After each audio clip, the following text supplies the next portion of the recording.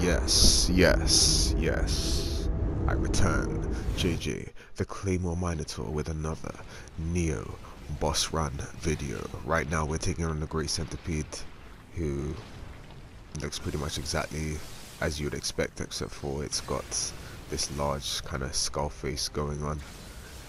And the strategy here was to pretty much wail on him to be completely honest. I'm not sure if the green smoke is actually poisoning you in this. Well, when it's coming directly from the centipede's mouth, it is.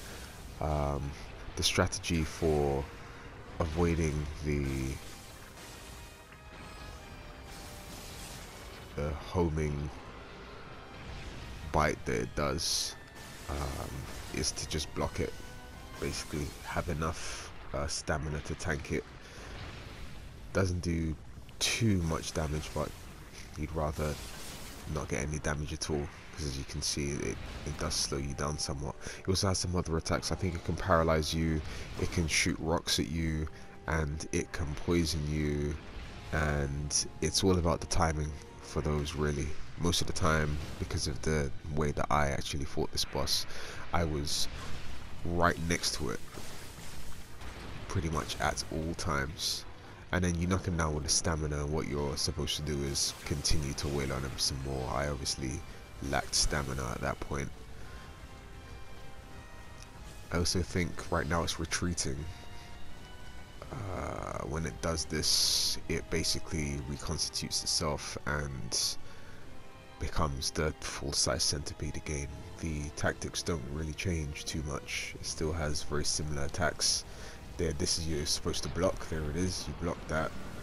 And I activated my living weapon guardian spirit.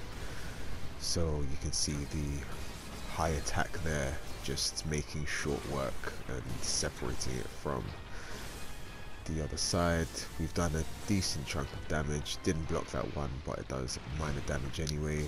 Because I'm right up close the timing is required to be impeccable, otherwise you're getting caught by it.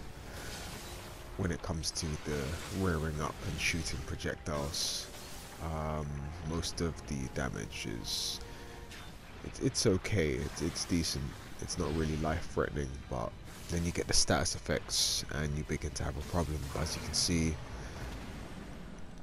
he's done. It's over.